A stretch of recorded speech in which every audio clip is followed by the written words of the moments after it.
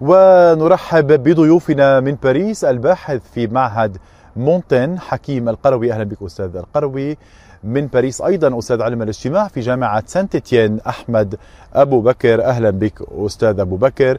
ومباشرة من الجزائر أستاذ العلاقات الدولية دكتور زهير بو عمامه أهلا بك دكتور بو عمامه أبدأ معك سيد القروي. ماذا تبدل منذ العام 2017 ونتيجة فوز ايمانويل ماكرون وهذا الفوز اليوم لجهة الأرقام والبرنامج السياسي. أنت كنت مقرب لماكرون قبل وصوله إلى الإليزي أي من الهواجس وحتى التحديات التي سيواجهها في ولاية ثانية لخمس سنوات جديدة. Le التحدي الأول السياسي هو داخلي وينبغي الإصلاح والمصالحة بين الفرنسيين. ما أظهرته هذه الانتخابات هو انقسام كبير بين أعلى المجتمع وأدنى المجتمع. وفرنسا الجيدة وفرنسا التي تسير أمورها بطريقة سيئة. ماكرون طبعا جمع الكثير ولكنه لوحده. ولا ينبغي أن يجد نفسه أيضا في مواجهة الغضب لوحده والغضب مهم. بالنسبة للفرنسيين من أصول عربية والمسلمين فهناك ارتياح كبير لأن لوبان هي اليمين المتطرف وهي معاداة الأجانب ومعاداة الإسلام وكره الإسلام. لوبان ربما هي أكثر فناخب زمور وناخب لوبان وبالنسبة للعالم العربي فهذه الاستمرارية في الصداقات مع دول الخليج العربي والتي طبعا خاصة منها الإمارات العربية المتحدة ثم الصداقة أيضا. معقدة ربما مع دول المغرب مع المغرب وربما ليس هناك تلك الرغبة في الماضي أما في الجزائر فالرئيس ماكرون حاول المصالحة بين البلدين ولكنه لم ينجح لحد الساعة. ومع تونس الأمر معقد جدا لأن السلطة في تونس ليست موجودة بطريقة ما. إذا طبعا التحديات كبيرة تحديات داخلية والخارجية. وبالنسبة للفرنسيين من أصول عربية ومسلمة فهناك فرح وهناك رضا. أستاذ بو عمامة السيد القروي تحدث عن هذه العلاقة المعقدة مع الجزائر. سينجح ماكرون في تذليل هذه العقبات والتقليل من المواقف التي اعتبرتها الجزائر بأنها استفزازية وذهبت العلاقة إلى تعقيدات لسنوات.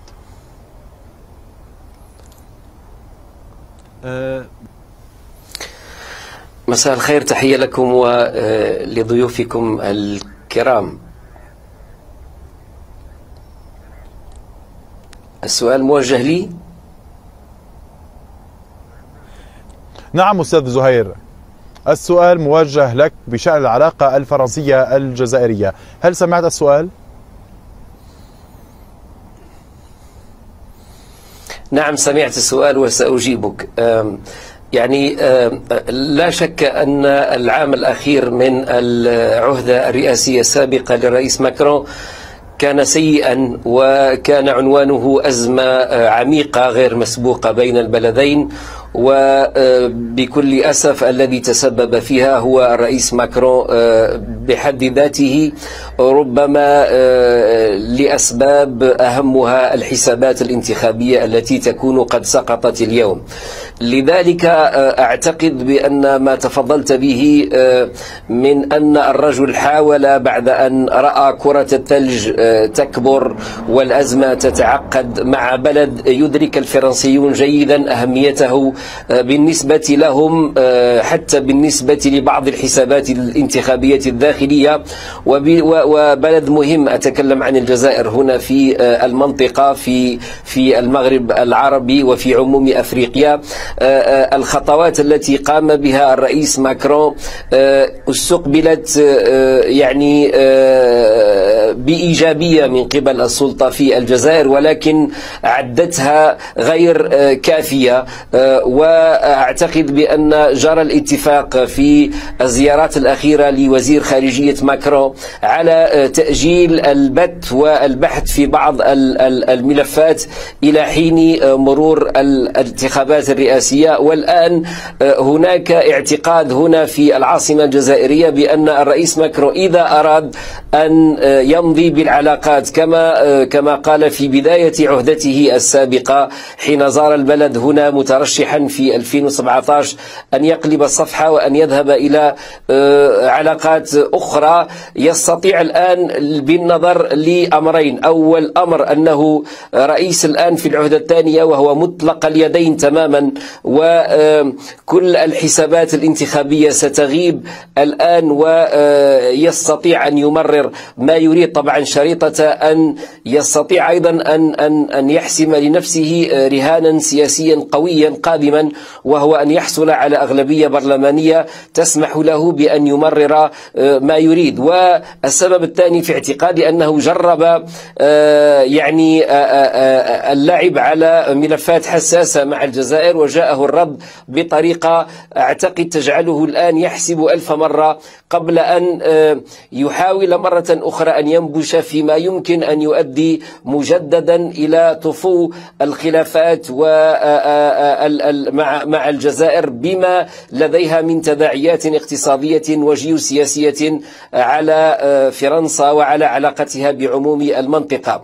أعتقد بأن ماكرون سيبادر سنرى ذلك وأنا أتفق مع الزميل قبل قليل الذي قال بأن الأولوية لماكرون بالنظر إلى ما ما ما رأيناه في هذه الانتخابات ستكون للداخل الفرنسي على الأغلب. ولكنه بعد ذلك أعتقد بأن بأن بأننا نترقب ونتمنى خطوات مصالحة من جهته في إطار إعادة بناء علاقة بين البلدين مبنية على الاحترام بعيدة عن الوصاية وعلاقة أيضا تأخذ بعين الاعتبار مكانة الجزائر وإمكانياتها وأعتقد بأن نعم. المصالح نعم. الكبيرة والترابط الإنساني الموجود بين البلدين لدينا أكثر من خمس ملايين فرنسي من أصول جزائرية وجالية جزائرية كبيرة جدا في فرنسا ولفرنسا مصالح اقتصادية كبيرة هنا أيضا ولذلك أعتقد أنه نعم.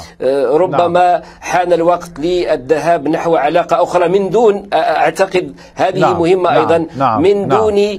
أن أن أن أن يطالب الجزائريون بأن يتجاوزوا ذاكرتهم أو أن يقدموا تنازلات وصلت هذه الفكرة أستاذ أبو عمامة أستاذ أحمد بكر تذليل كل هذه الملفات السابقة والمرتبطة بمواقف الرئيس إيمانويل ماكرون كيف يمكن البناء على هذا العمق التاريخي لملايين الفرنسيين من أصول عربية وتحديدا من دول المغرب العربي للسنوات الخمس المقبلة؟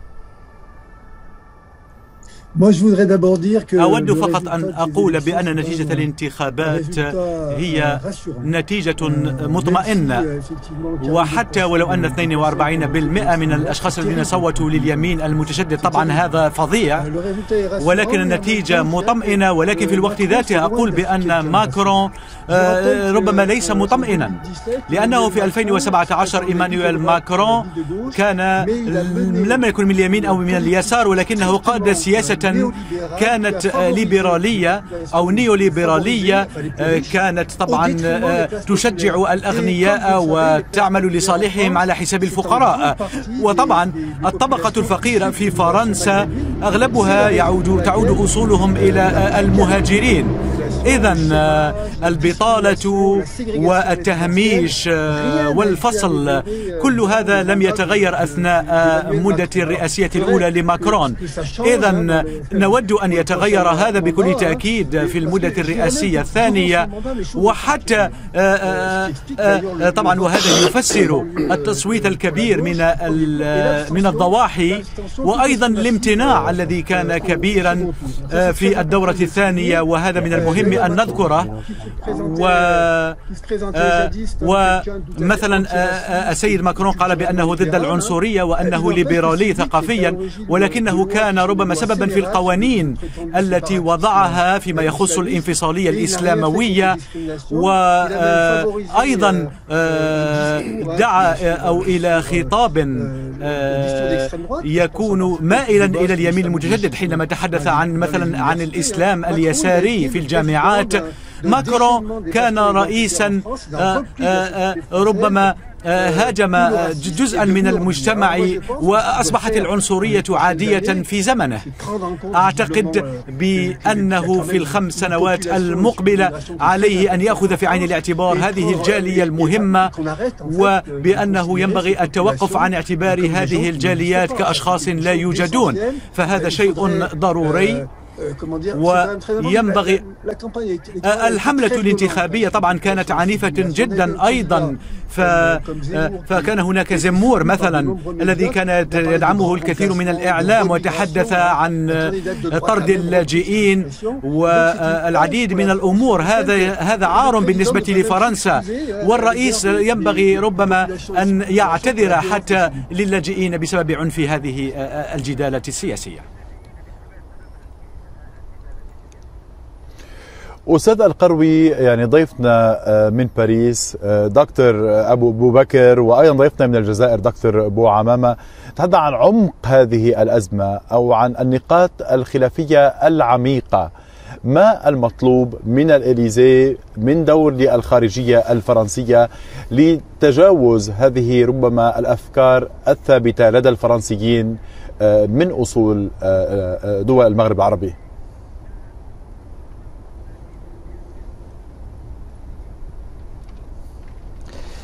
Je pense que أعتقد أنه بالنسبة لإيمانويل ماكرون الأمر الضروري ضروري بالنسبة إليه هو التطلع إلى المستقبل. وهذا يعني بناء أشياء. فنحن بحاجة إلى أوروبا قوية. أوروبا تكون مرتبطة بالولايات المتحدة من خلال الناتو ولكنها تكون مستقلة أكثر وذات سيادة أكثر وما يحدث في أوكرانيا والجنون القاتل لروسيا وبوتين.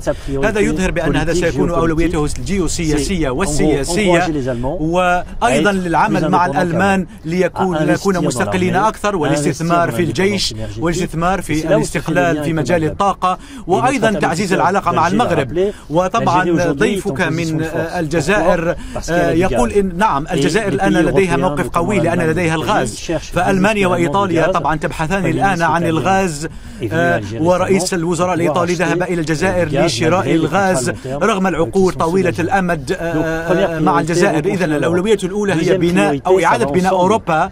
الأولوية الثانية هي بأن يضمن بأن أوروبا لا تتوقف في أوروبا وبأن البحر المتوسط لا يكون حدودا وبأنه سيكون هناك عمل أيضا مع المتوسط وبأن شمال إفريقيا والمغرب العربي بأن يندمج مع أوروبا مع إسبانيا وإيطاليا وفرنسا.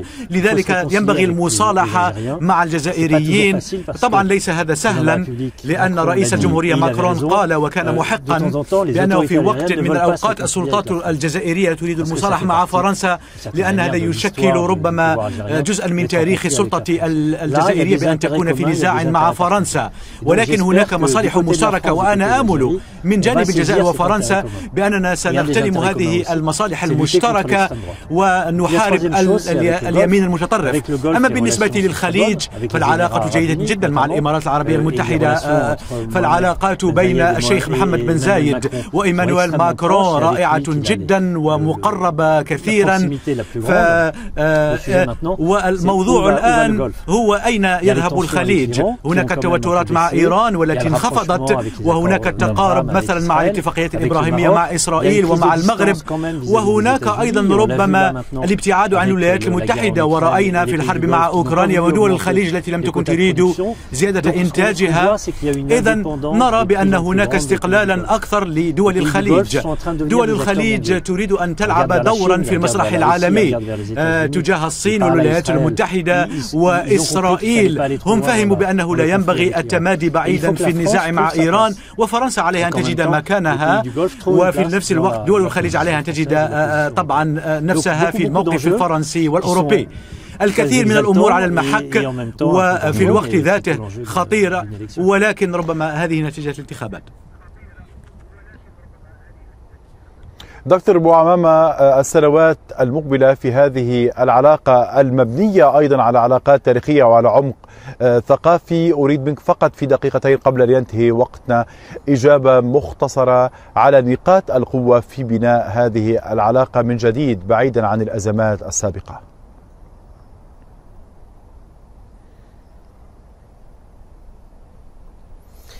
يعني كما قلت هناك هذه العلاقات الإنسانية يكفي أن نقول أن هناك أكثر من خمس ملايين جزائري و قوة انتخابية كبيرة هذه المرة أيضا ومعظمهم ربما في الدور الأول كان قد صوت لميلانشون ولكن في الدور الثاني ستظهر التقديرات والأرقام بأنهم صوتوا لماكرون. لأشياء أو لأسباب واضحة جدا. ثم أن فرنسا أيضا تغامر بإساءة العلاقة مع الجزائر بمصالح بمليارات الأوروهات. وفي السنتين الماضيتين تعلمون كيف أن الجزائر أيضا بشكل أو بآخر لعبت بورقة المصالح الاقتصادية حين ساءت العلاقة السياسية بين البلدين. لذلك علاقات سياسية مبنية على الاحترام المتبادل ومبنية أيضا على حق الجزائريين في أن يطلبوا يعني أن تقدم فرنسا اعتذارا عن نعم. عن نعم. عن جرائم نعم. استعمارية نعم. سابقة وأن تعالج ملفات كثيرة ملفات التجارب النووية ملفات. المفقودين. ملفات الأرشيف الجزائري الذي لا زلنا نطالب به نعم. بمعنى أن ماكرون إذا أراد. أن يمضي قدما في بناء علاقة أخرى وكان نعم. قد قال قبل قليل حين سمعناه بأنه سيذهب في العهدة الثانية إلى نعم. سياسات مخالفة. دكتور فأعتقد بأنه يمكن أن يمارس الشأن ذلك مع الجزائر. في دقيقة و... واحدة. دكتور أحمد بوبكر البناء على هذه العلاقة الجديدة للخمس سنوات المقبلة محكوم بنتائج هذه الانتخابات أيضا بدور الخارجية الفرنسية. وربما بالنظرة إلى كل بتجاوز كل الأزمات السابقة من فضلك من جديد الإجابة في دقيقة.